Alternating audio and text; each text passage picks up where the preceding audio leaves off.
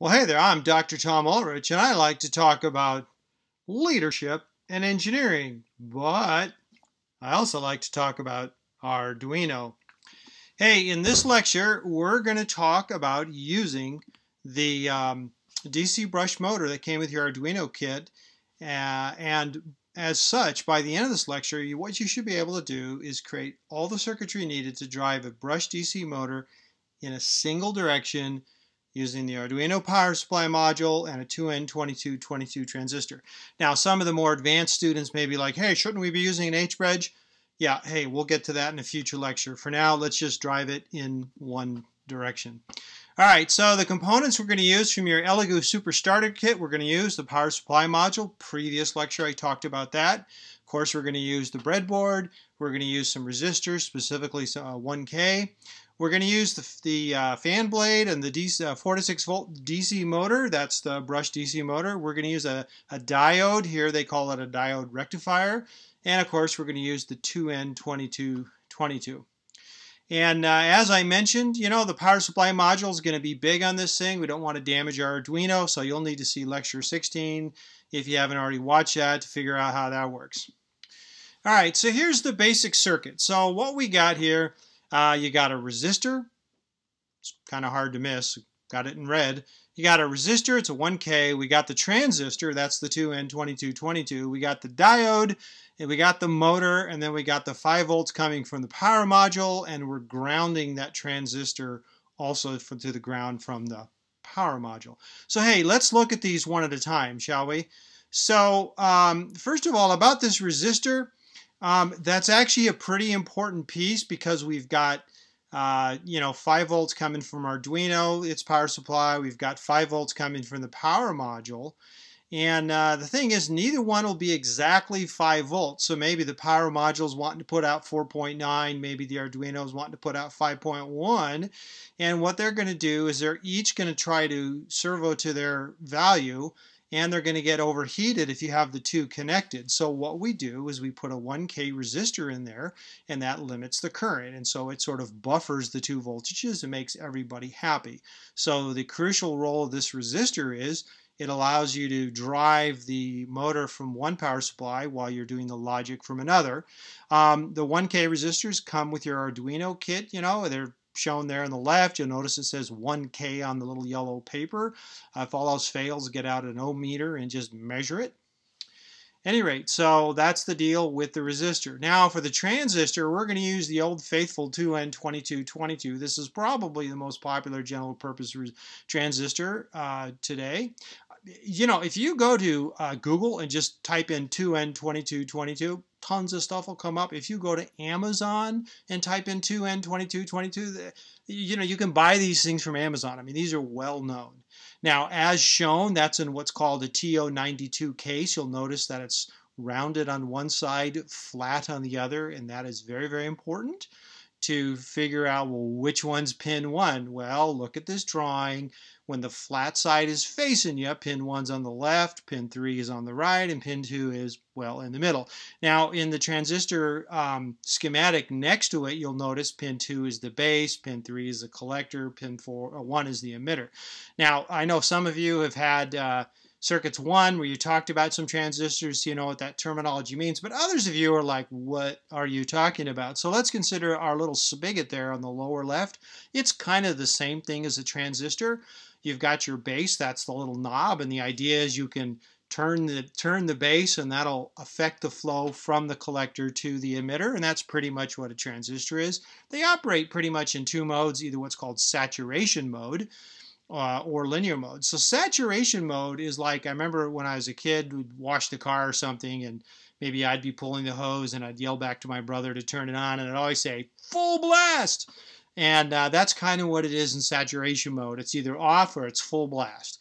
Uh, in linear mode, which is actually the mode we're going to have here, things are more or less proportional any rate, so what we've got is you've got this Arduino pin on the Arduino. It's got to be one of the PWM pins. It's got to have the little squiggle on the board.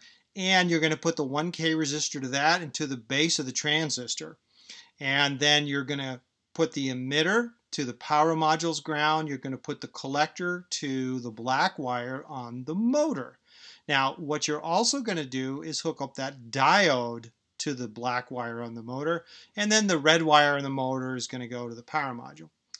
All right, so uh, let's talk about that motor. You know, the, if you happen to hook this motor up backwards, it doesn't really matter, uh, other than it will go the opposite direction. So it's uh, basically just um, uh, coils, electromagnet, and if you see the lecture on uh, how DC brush DC motors work, you'll realize, oh yeah, it doesn't matter which way you do it.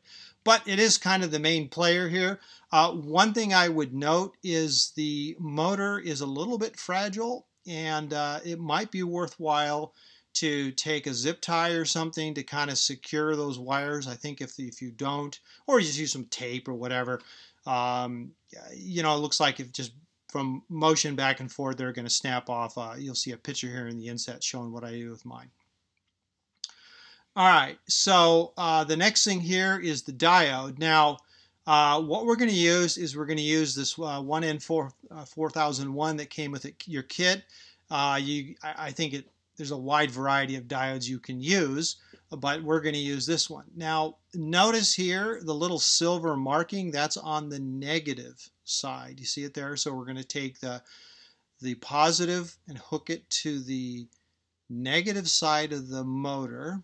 Hmm. And we're going to take the negative side of the diode and hook it to the power supply. Why is that?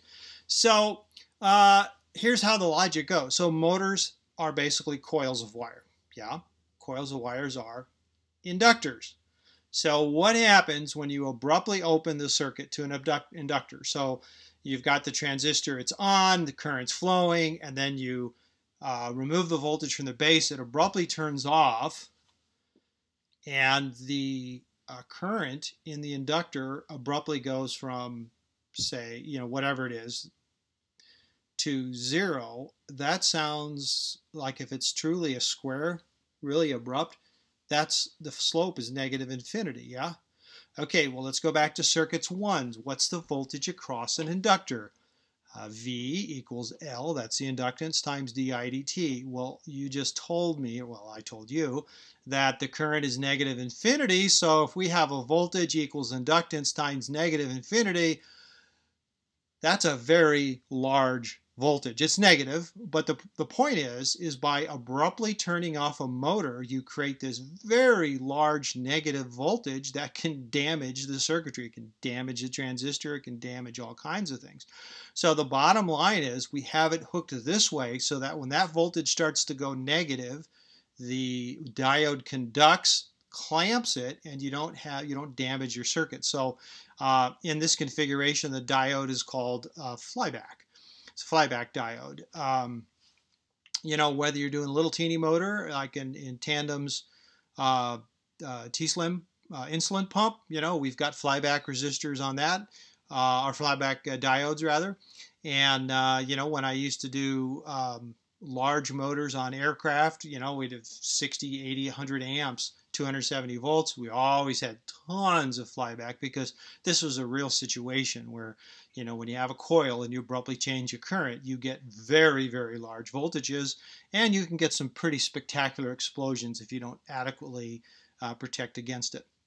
All right, so I want to show another view of wiring this thing up. Now, this is kind of in the greater context of your project where what you're going to do is you're going to take your seven segment display with the shift, with or without the shift register, that's up to you. You're going to take your IR remote and you're going to select, say you push one and then the seven segment display pushes one and then the motor will go at low. And if you push two, the motor will go medium speed. Push three, motor will go high speed. Push zero, it'll turn off. Any rate, the point is what we're doing is using this IR to control the fan speed. And the key thing I want to show in this view is that um, the, the, we're isolating the power in the ground. You know, the power module comes, it gets its power from the 9 volt battery, the motor gets its, its power from that, the, the transistor's hooked to it, and you see the upper side, upper half of that uh, proto board when it's laid sideways, you know, that is completely isolated from the logic down below. The only place the Arduino, the digital logic, interfaces with the motor driver is that cyan color where that's going through the 1K resistor. Other than that, the 5 volts and the ground is all coming from Arduino. And that's one of the real big concepts we're trying to push on this. I'm trying to push on this project is, you know, this idea that you can sometimes isolate the power supply and have a buffer and, and also just driving a motor and well also using a segment display and an IR remote. Actually, it's a pretty cool project, I think. A lot of things coming together. Any rate, final comments here. So one thing is, it's very important to get the pins right. You know, slow down, double check. Yeah, I got pin one right. I got pin two right. I got pin three right. Uh, if you get those backwards, those transistors can go boom.